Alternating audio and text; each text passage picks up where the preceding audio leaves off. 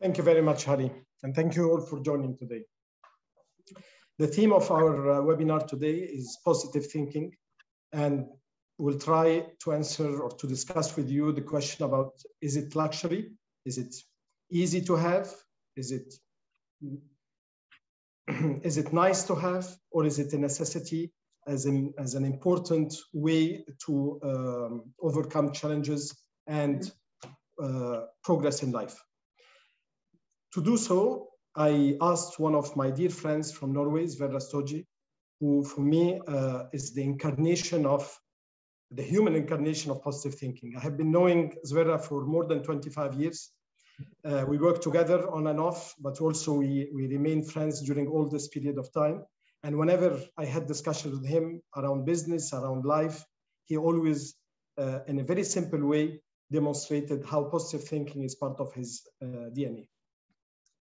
But before I um, uh, ask Sverre to join me, I would just would like to share with you this quotation, which will be hoping that it will uh, set the scene for the whole webinar. This quotation is from Gandhi, uh, and I will read it for you. Keep your thoughts positive because your thoughts become your words. So we'll start with the thoughts. Keep your words positive because your words become your behavior then keep your behavior positive because your behavior becomes your habits. Keep your habits positive because your habits become your values. And last but not least, keep your values positive because your values become your destiny. So a, a thought and the sequence will reach to your destiny. And this is, of course, quotation from Gandhi. Without further ado, I would love uh, to have Sverre with us. So Sverre, if you can enable your uh, video. Hello, everyone, and thank you for the invitation, Mohammed. Thank Delighted you. to be here. Thank you very much, Sverre. Ali, would you like to put us on the virtual? Um... Yeah, thank you. There we go. Very good. So um, my first question, and by the way, team, uh, just uh, for the participants, just uh, a heads up, is that we agreed on the questions with Vera, but we did not rehearse on the answers. So we'll discover each one's answer during the session to make it as natural as possible. Uh, you are uh, more than welcome to, um, to stop your video. Uh, you are muted by automatically as mentioned by Ali. And as far as the video is concerned, it is up to you to disable your video manually. so Sverre, the first question to set the scene, you did a very courageous, for me, a very courageous step in your career around, I can't remember exactly 30 or more years ago, where you stopped your corporate career as a, uh, as a lawyer for one of the biggest uh, shipping companies in, in Norway to start your self-employment path and career. And I know that you have been, uh, that you went through a number of challenges and difficulties. Can you share with the audience those, some of those challenges and how positive thinking was of help to uh, succeed? Sure. Uh, it was a, a time where uh, it was very um, very popular to reorganize. So the company that I was working in was reorganized. So I was more or less reorganized away. Um, so then I could get, I could apply for another job. On the other hand, we had, had many consultants within the company. And I saw that um, when you're working with different companies, you learn a lot and it's also a freedom. So I finally found out that, okay, why not start by myself? But it was a tough, uh, tough decision because I had a fat salary, fat car, fat house, slim wife. Um, and so I, when I asked my friends, uh, what do you think? They would say, are you out of your mind? It is a recession. You will never ever make it. It, it, it will not work. That's half of that's half of the uh, the people I asked. The other half said, "Hmm, yeah, maybe that could uh, maybe that could uh, happen." So I had to reduce my circle of friends by half, uh, which means that all the pessimistic people they say we are not pessimistic, we are realistic. Um, so then I asked them, "How do you see a bald-headed man?" So the pessimistic people said, okay, if you're bald-headed, it's more more face to wash. But when they ask if uh, ask the positive or the um, the positive people, they said, well, bald-headed people, then it's less hair to comb. So it, it is, what do you choose? So what I had to do, I had to tell my friends, we need a break. We need a break. Um, so uh, because you are putting negative uh, thoughts into my head and that makes me weak. So weak thoughts, weak forces, strong thoughts, strong forces. So after that, I sat down with a friend and we met, made a mental picture three years ahead in presence. So it is, we were already there when we put, put that down. And uh, then I started to work with my subconscious because the subconscious takes what it gets. So once your subconscious mind has accepted a belief or idea, whatever true or not, it will continually feed your thoughts to support the belief. So if I believe I cannot make it, it will happen. And if I thought, oh, I will never make any money, it will happen. And the other way around. So that's why uh, this started. And I also had some uh, a good friend who said, you are invited for dinner together with 15 of my business colleagues from 15 different branches. And we will have a dinner and you are invited. And beside the plate, it was paper and pen.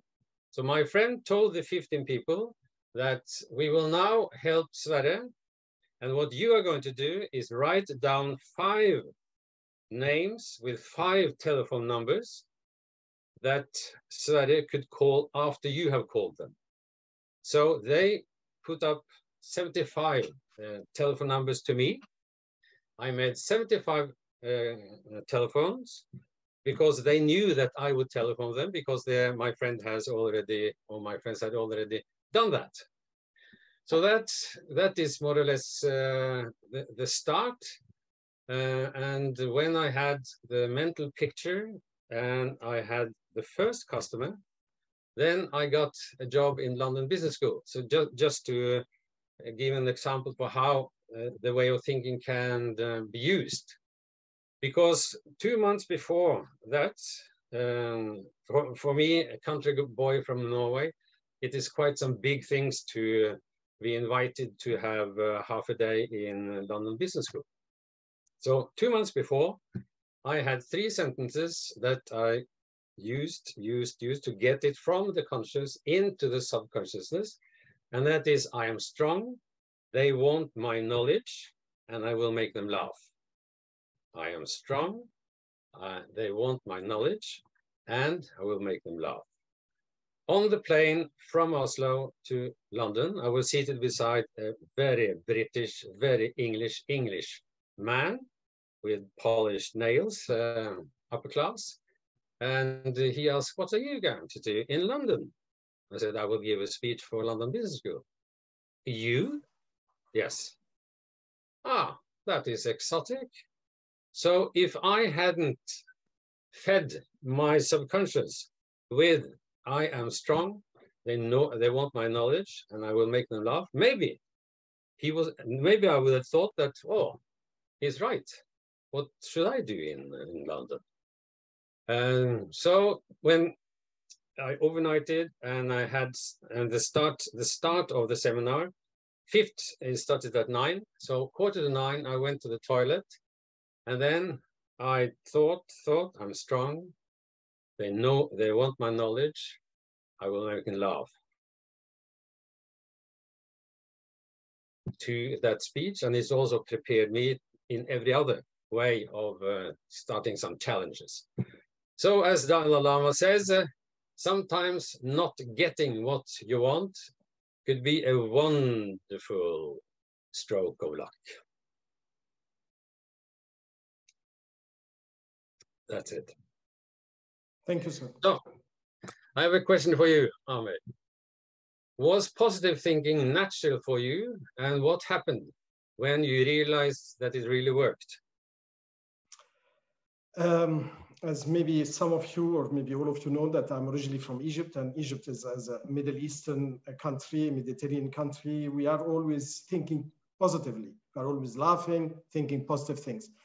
But step by step, at the beginning of my career, I realized that there is a difference between laughing, thinking positively, and positive thinking. This kind of tool, power of the mind to make things happen.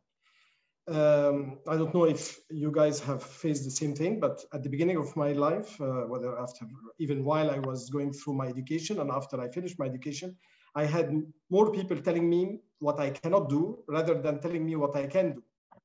Yeah, you can do this job, but try to avoid this one because it will not pay much. Or this one, the career will not move. Or if you want to uh, uh, uh, live outside or live outside Egypt, you will have to find this job or that job.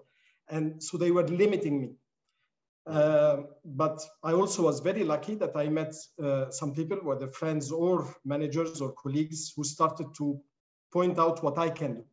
And one of my early managers, uh, and he happened to be with us today, I owe him a lot because during my interview with him, he said, okay, you're applying for this job, but I see you soon enough to be working or joining the, or uh, filling that other job. And I didn't even know the, the name of the other job.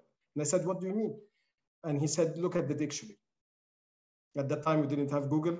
I'm an old guy. So I went in the night and I went to the dictionary and I, I learned about this other job and I started potentially preparing myself mentally for it. And again, this was a practice of mental power and positive thinking by projecting myself into the other job, although this was not the job that I was applying for. So step by step, I started to train myself like a child who is walking, learning how to walk. I started to practice step by step what is positive thinking is. And step by step, I start to do what, what I quoted earlier from uh, Gandhi about the different or the power of a thought, then the word, then the action, then the behavior and the values and so forth. But I can say that it was not easy and it was not just in a book or sometimes my own wife will tell me what is the button that I should uh, push to, to think positively. There is no button. And this is what I have always been telling her we have to find our own button. We have to think, we have to practice, but we have to be well surrounded. As you mentioned, Sverre, you need to be surrounded by good friends, good colleagues, good managers. Uh, I had also another manager where he put me on the spot in one of the very important executive meeting. And, he and he asked me to, uh, to present my view on a very specific topic. And I said I was not ready to, to present. He said, Amri was born ready. And this word I will never forget. He was born ready because immediately I got this surge of energy of, um, of inspiration. And I managed to answer not only his question, but exceed his expectations. So again, being supported and uh, practicing it day by day was for me the, the recipe, but I failed. And I will talk later about some of the failures, but, but again, it is, it is a daily practice. Mm. Um, you are from the north, I'm from the south and we uh, some people would think that we the north and the south have different ways of looking at things. And not only that some people will think that uh, the uh, the lucky people born and living in the north and you are from norway including denmark uh, finland and others have an easier life than other parts of the world. Uh, less in unemployment um, and other more opportunities and so forth. Is it true? And in this case do you think that positive thinking in this part of the world is just something nice to have naturally happening without struggling to, to get it and you don't need it? Or uh, there are other perceptions that you, wish, that you wish to share with us? Yes.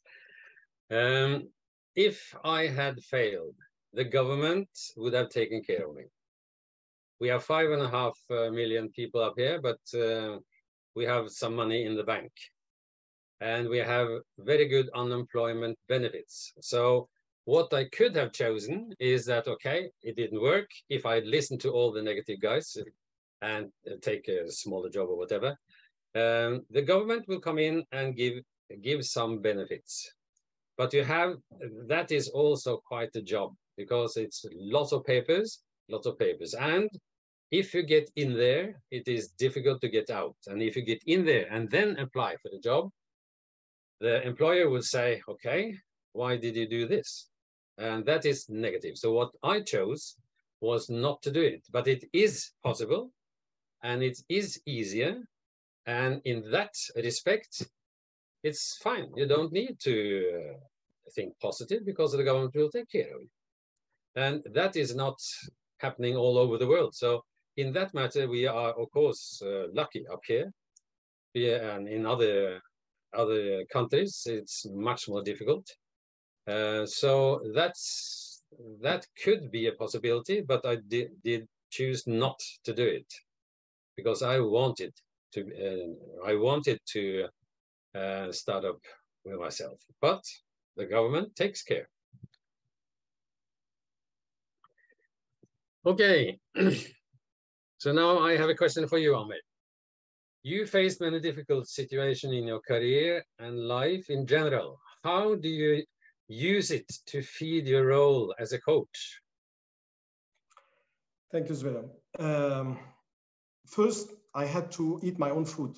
I cannot coach anybody unless I know what kind of difficulties he or she are going through. So the, I'm lucky because I had a wide horizon of difficulties and challenges, but I'm still learning until now. So, um, but but if I will divide your question into two. First, how I went through the difficult situation, and then how I use it for coaching. So the first part is that I embrace the, the concept of that our perception of any situation and every situation is depending on our mindset. Uh, let me give you an example about an athlete that who trained very hard to get a gold medal uh, in the Olympics. For four years, he, have been, he or she have been preparing for the gold medal. And if they finish second or third, they consider it as a failure. And if they finish fourth, it is they, they, they should, or they think they should commit suicide. Mm. But if you take another athlete who is young and he's starting his career, or he's between brackets old and he's finishing his career, the expectations are different because they will not put all this pressure in their mind that they will have to finish first. And in this case, if they finish fifth or sixth, they consider it as, as a big win. Same thing with any sport or career, uh, corporate career or personal career or others. Uh, expectancy, expectancy, expectancy determines outcomes. And we have to be detached from outcomes. We cannot just say, I have to succeed. I have to get what I am aiming to get. Because we'll always, or most of the times, we'll be deceiving ourselves.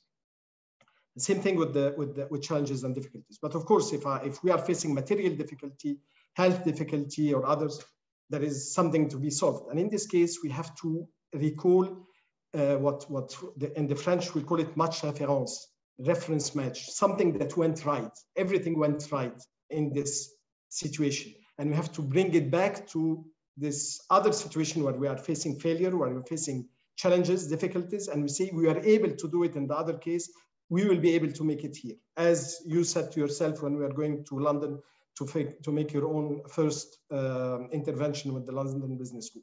We have to keep telling ourselves we are able to solve the problem. The end of the tunnel is soon. And again, by being surrounded, positive thinking is a never self-centric exercise. It is always, we need to be surrounded by people who will feed us and believe in us and remind us that we are able to do things. Mm. In terms of coaching, uh, it is, as I said, I try to put myself in the shoes of the person that I'm, whom I'm trying to help. I try to see the difficulties that he or she are going through. And if I was naturally in those situations before, I try to learn about this situation. I do my homework as well. Uh, empathy is part of the game, but not only empathy, it is also a 360 degree view and helping the person as a mirror. I always consider myself as a mirror to help the person looking at himself or herself from outside and see what kind of difficulties they are facing. And I just try to discuss it with him. I never give recipes. I try to just help the thinking process. Mm. This is humbly what I try to do in this uh, in this role. Mm. So um, now the following question is. I know that your job as a consultant, and you mentioned this, is more than a job. You take it as a mission. And I, I, also am aware that you kept reinventing yourself. You, you lived in Norway for many years and you had your own company, you had your corporate career, then you had your own company. Then you decided from one day to another when you called me a few, um, I can't remember exactly how many years, 15 years ago or something, that you decided to move to, uh, to Asia, to Singapore, and then to uh, Malaysia to change and to try a new life. How did you what what drove this this kind of mission that you had and how you kept reinventing yourself during all of those years as well hmm. well during um, during the work in the corporate world, we had consultants in, and I envied their freedom. Um, and also, uh, it is a it, it, it is a big advantage to to be a consultant because as a consultant, you help other people in their in their companies, and there are many different business branches. So uh, that's uh, through that uh, I will have the bonus of developing myself through the customer. And so my customers, in a way, help me to develop me myself. And in addition to that, uh, I could, of course, have uh, continued in Norway. But uh, I found out that, um, I, am I'm, I'm, I'm so grown up now, so I think I will start doing something outside. So both my wife and I, we packed two, two um, bags, went to Singapore and said hello in Singapore. No one said hello to me. And uh, then uh, we found out that uh, maybe it's easy in Malaysia because we had some friends there. So we I used uh, six months and a lot of money, and uh, we in Asia, you know, you have to eat a lot. So I've never eaten so many lunches and so many dinners to get the first job, and it was close to to fail because we had uh, 3,000 euros left after six uh, six months. So then we ha had to decide: shall we go home to Norway, or should we sell the apartment in Norway and continue? And then suddenly, by having many balls up in the air, one ball fell down and we had one customer on Tuesday and the second on Friday. And then we, we went there for 10 years. So it is, it is, a, it is an interference between me as a consultant and the, and the customer that keeps me going. Okay, a, a question for you, Ahmed. we are all living in a very challenging world. What is your perception around the use of positive thinking by people around you in general? Um, I will um, I will start with a metaphor, and mm. again, I love metaphors, as you know. Uh, I consider today like we have a we have a kitchen full of recipes and full of ingredients, food ingredients and um, other type of ingredients, and lots of recipes but we are keep ordering fast food. We keep going to McDonald's and we keep ordering fast food. People are bombarded every day with access to information about positive thinking. Uh, for example, at the, at the, beginning of my day, I receive number of uh, notes from WhatsApp and all those kind of things around from my mother, from friends and others about quotations and other. But I feel that people are not paying attention on how to apply those. They don't test themselves. They don't question themselves where positive thinking is applied and how it can be a tool and not just a knowledge uh, source. There is also another uh, uh, um, trend that we are all we are all observing now, and there was a famous TikTok last July about it, which is quiet quitting. I don't know if you heard about it. Quiet quitting in French, uh, démission silencieuse for the French speakers. And this is a trend that they, they just put a name on it, but it has been around for many, many years, is that people are still working, they are not quitting, but they are just taking it easier. They do the minimum, as the French would say, minimum syndical. They will just do what it takes not to be fired, but they will not try to give more than, than this. Some of them after the COVID will say it is not uh, uh, required. Some have other priorities.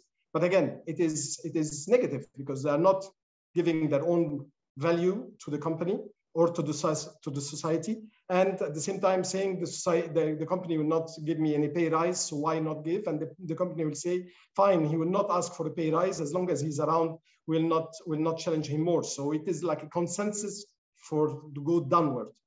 So those two concepts, the, the kitchen full of recipes, but we are not using it and we are still ordering fast food and it's quite quit, quitting, are giving me an impression that we are not challenging ourselves. We are not seeing how positive thinking can take us to another level. And I feel that we have to have each one of us a wake up call to say, okay, maybe you do, I'm not asking people to quit really or to suddenly go and work 20 hours a day or 15, or 15 hours a day, like I used to do and for many, many years. And I'm not recommending anyone to do it, but at least to find where the value can be provided, where we can have passion. And again, coming back to inspiring our life, this is why I selected this brand. We have to inspire our own life to inspire others. So this is what I observe, Sverre, and I believe that we have to use this kind of the COVID and the post-COVID and all what's happening in the world, the inflation and all of this as a source of motivation and not as a, as a justification for quiet quitting. Hmm. Yes. So my last question to you is something to recap your career, which is very rich, as we can see. Looking backwards to all what you have done in different parts of the world for different customers, now looking at what you could have done differently, what maybe, if you have any regrets that you wish to share with us. Hmm. Yes. Um, when I was reorganized, I used too much time to make some pamphlets of what I should do. I used three months to write down instead of getting out and say hello to the customer. So I should have gone out much more, but I was a little bit afraid. I was not ready. I should have something to give them and all these things. Um, and the, another thing is that uh, you have to dare to get out of your comfort zone. Because if you get out of your comfort zone into the exciting, the exciting zone will then become comfortable. And I, I was sitting in a comfortable uh, zone for, for, for too long. And uh, uh, and another thing is that uh, it is when you lose, it is um, it is important not to lose the lesson. For instance, I managed to get um, an appointment with IBM boss in Norway, big guy. Uh, and I went into the meeting and I talked about what I usually do without thinking about what does he need. So after half an hour, uh, we ended up that uh, I have told him about uh, what I do and do and said, yes, that's interesting. But um, how do you present it? He said. Well, I don't know. Well, we have a fantastic overhead here. So the meeting ended in that he sold me a, a overhead instead of me getting a job. So what is the lesson? The lesson is that don't get into the meeting if you are not completely clear what the customer needs and listen, listen, listen, listen. I was talking, talking, talking, talking. So that's that's that's one of the um, regrets. A little bit, a uh, little bit coward in the start, but it, it picked up. mm -hmm. So I have a question for you, the last one.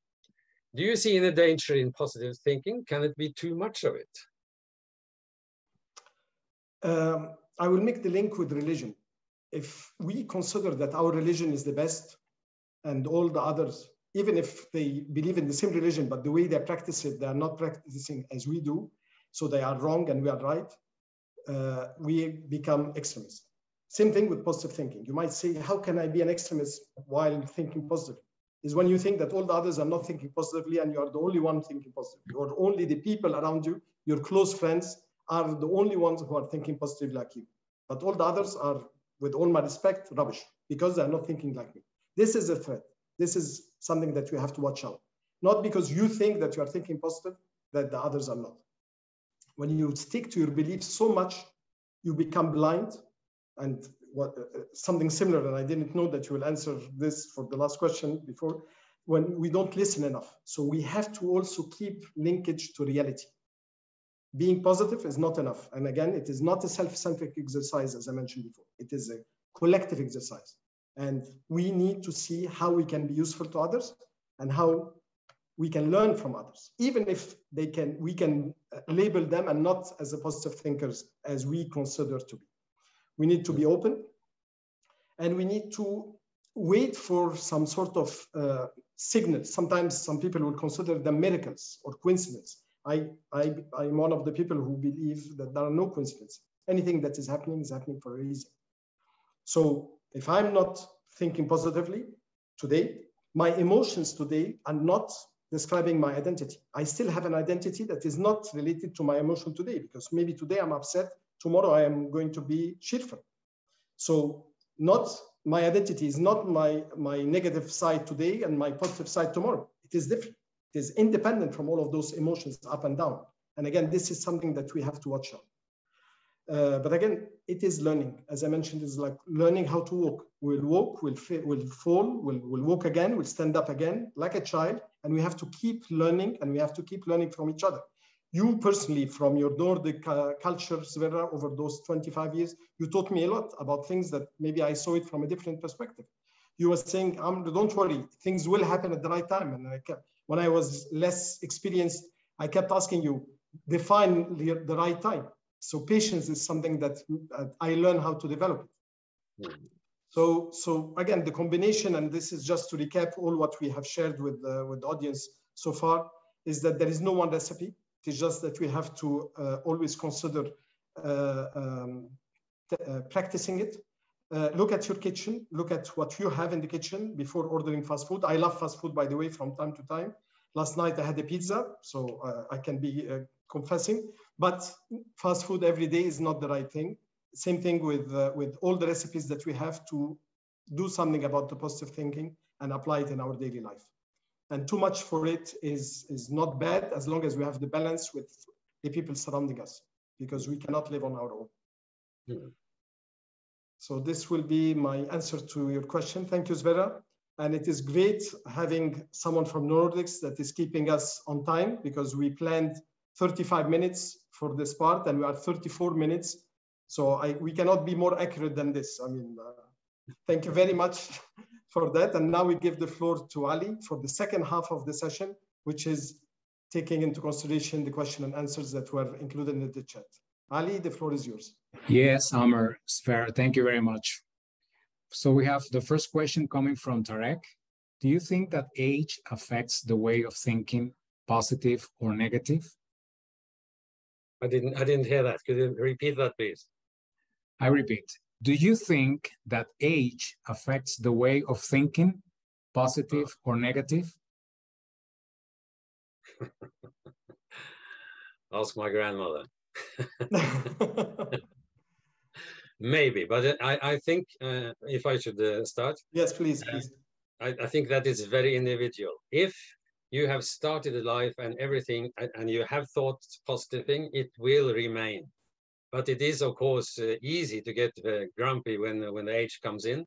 But um, uh, I, I, think it's very individual. And sometimes you see grumpy people. Sometimes you see people that has a brain uh, as a 12 years old.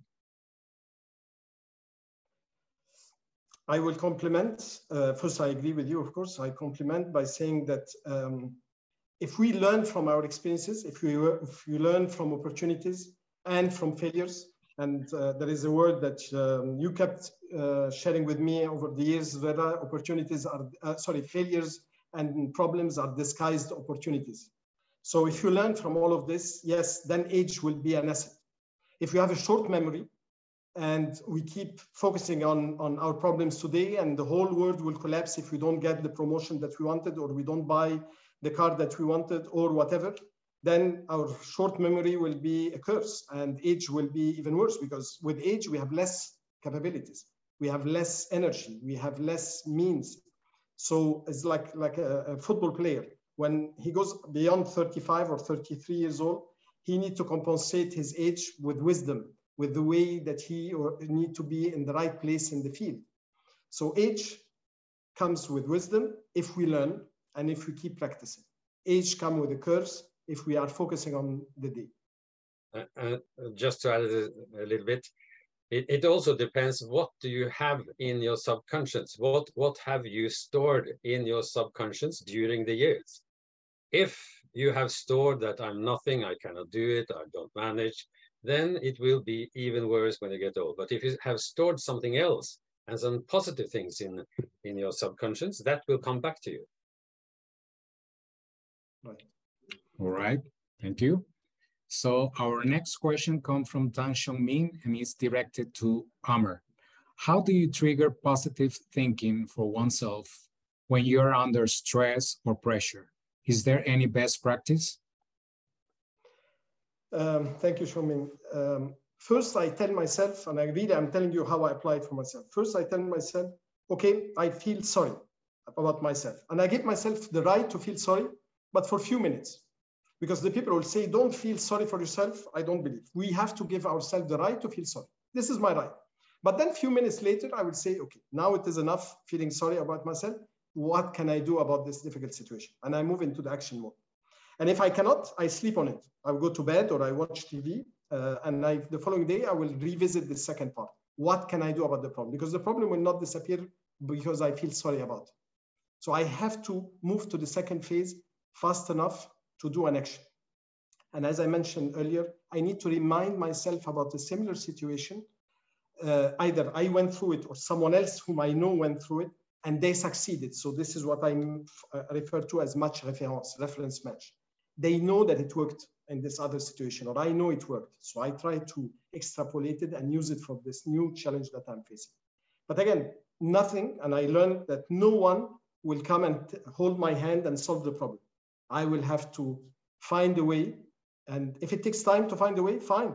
It would take time to find a way, but definitely we'll, we'll, we'll find a solution. And this kind of self-belief that we'll find the solution is my drive. Sverre, would you like to complement from the your approach? Yes, of course, uh, everyone gets uh, stressed and a uh, lot of problems and things. Um, what I do is I use at least uh, 50 minutes for maybe half an hour worrying about that. And I'm really worried and I'm use what what can go wrong here and all the things that are bad, yes, bad, bad, bad, bad, bad. And then uh, when then I allow myself to find out, okay, that is the worst case. What is the best case? So I use 15 minutes, half an hour to worry, and then I decide fine, we put this aside now. So what could be a solution? So I have my half hour worrying time alone. And then I try to find out what, how to solve it, who could help me and uh, what to do. But it is, it is important to worry, I think, to get the shit out of the head. I like it. Back okay. to you, Ali. Thank you. Uh, we have a question coming from Felipe Stutz. Uh, we are living difficult times in the world, lots of uncertainties and challenges at many dimensions, climate change, political and economical issues across the globe.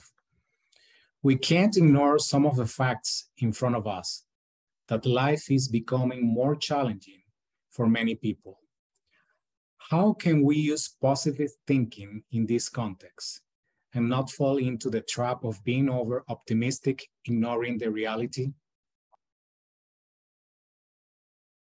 Sverre, would you like to take okay, yes. Um, Dalai Lama once said that um, don't think that you cannot do anything as small as ev everything. I, I, don't think that you're too small. Um, because have you slept with a mosquito a whole night? So small things can be done and uh, i think it, it also it's also good for a, a, person that yes i could do this much and this much i have control of that much and we have politicians all over the world some good some bad and so on uh, and they are doing their job but i do my small job and i think it is important for everyone to define what is that small point they could do and do that. Wonderful. And I will complement by just adding on top of what you said and do what you like to do, what you love to do, what you are mm. good at. Yes. I know a friend of mine, and he is with us today as well. He reinvented himself. He was working in IT and he was working on very technical stuff. And then because he loves uh, uh, um, um, food and healing through um, nutrition, he reinvented himself and he is now an expert in this field because he is good at it.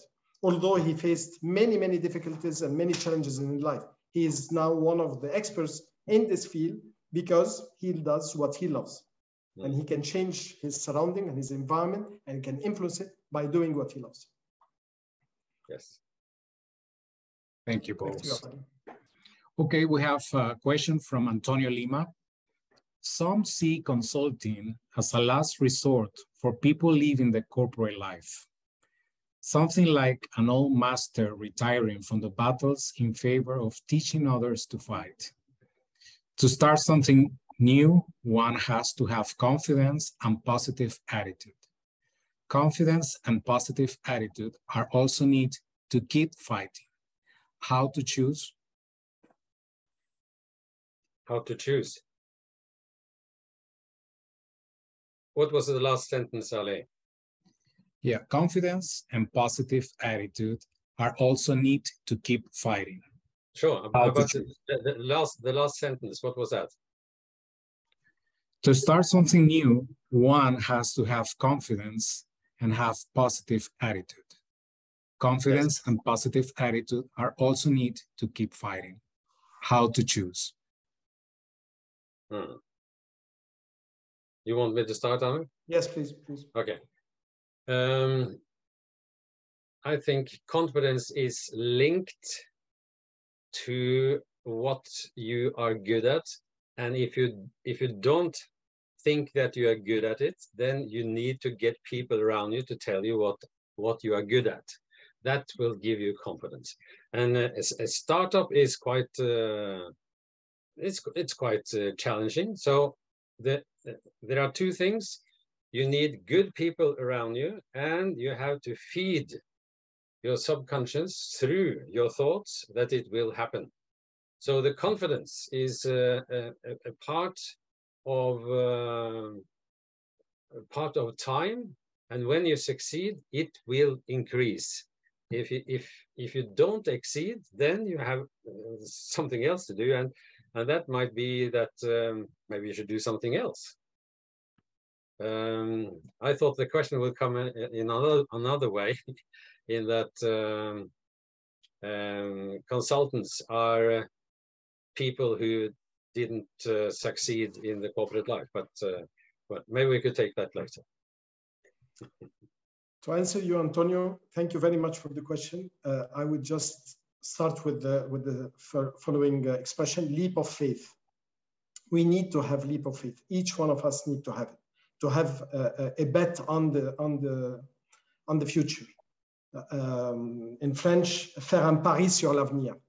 We don't know what, what will happen tomorrow. If we have to change, we have to go to the unknown.